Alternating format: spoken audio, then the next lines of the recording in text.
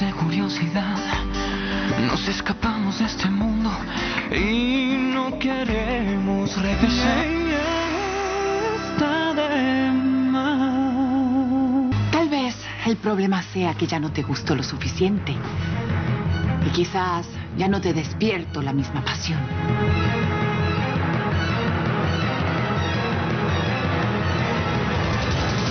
Bienvenidos, adelante, por favor, pasen, pasen, pasen.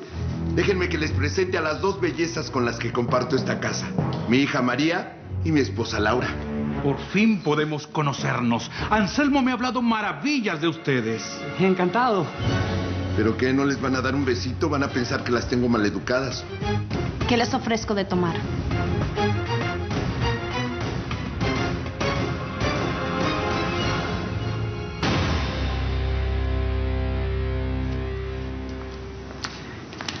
Hola, Hola, eres muy bonita.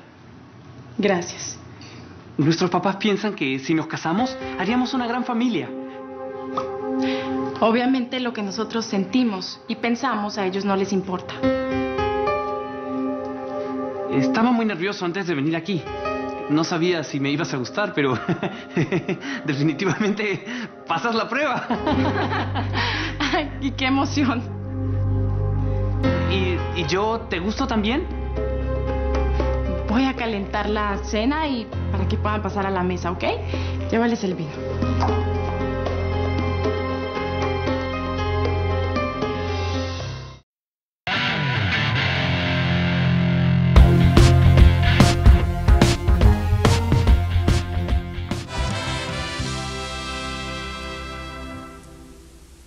Ay, mire, doña Inesita, ¿usted no dijo que él no era responsable?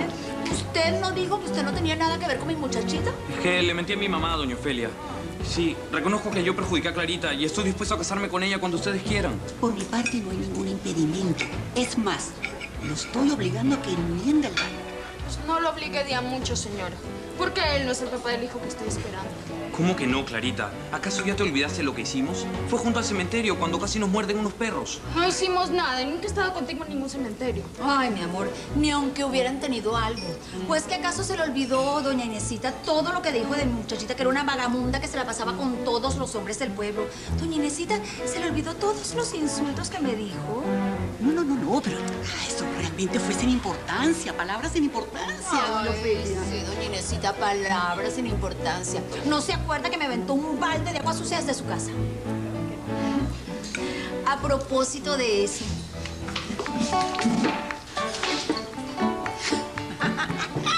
Ahí le devuelvo las atenciones, doña Inesita. ¿Qué está haciendo? Mamá, por favor, mejor no se puede hablar. Ay.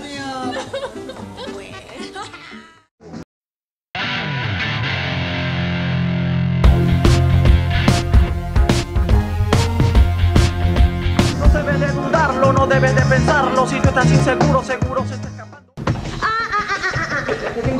No, no, no. Siéntate. Mira, Claudio, mí todo esto me parece muy raro, ¿sabes? Mucha risita, mucha alegría para alguien que solamente ha ido a hacer unos trámites. ¿No te parece? ¿Y si fuera lo que piensas? ¿No te alegraría que tu papá se vuelva a enamorar? Sí, pero depende de qué mujer. Mm, ¿En serio? ¿No te importaría que tu papá se fijara en una mujer y se volviera a casar? Ya te dije que sí, pero depende de qué mujer. Enamorarse es muy lindo. Pero no me gustaría que a estas alturas una de esas lobas lo salga engañando y haciendo sufrir. No, nadie querría eso. Pero tienes razón. Enamorarse es muy lindo. No sé, cuando uno está enamorado ve las cosas más distintas. Todo es más bonito. Sí, Uno cree que puede resolver todos los problemas del mundo, ¿no? exacto. Y siempre uno quiere estar al lado de la mujer a la que ama.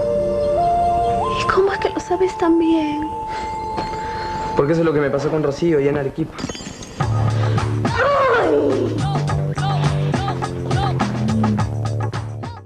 El bichito de los estudios que llegó al barrio ya me picó, así es que voy a estudiar algo. Claro, no puedo dejar la panadería porque con eso ayudo a mi familia, pero ya hablé con Don Amable y él me va a ayudar. Le decía que hay carreras cortas muy fáciles de aprender. Y además que, bueno, duran tres años más o menos. Claro que tendría que buscar lo que me guste bien, ¿no? ¿Sabes? Antes pensaba que la electrónica era mi fuerte, pero ahora voy a ser un gran gourmet, un buen chef. Porque me gustaría saber realmente todas las recetas del continente y poderlas hacer lo más rico posible. Mi gran sueño, pues, No sabes cuánto llegar a tener un restaurante propio. ¿Qué dijiste? Por fin me escuchaste. Te estaba diciendo que ahora ya tengo la libertad de decirte que yo también te amo. Pero no entiendo. En la casa de Blanca, Diego y tú... Nos estábamos despidiendo, tonto. Estuvimos conversando y nos dimos cuenta que solo nos queremos como amigos. Ahora los dos somos libres y, bueno, si tú no vas a dar la iniciativa, la daré yo.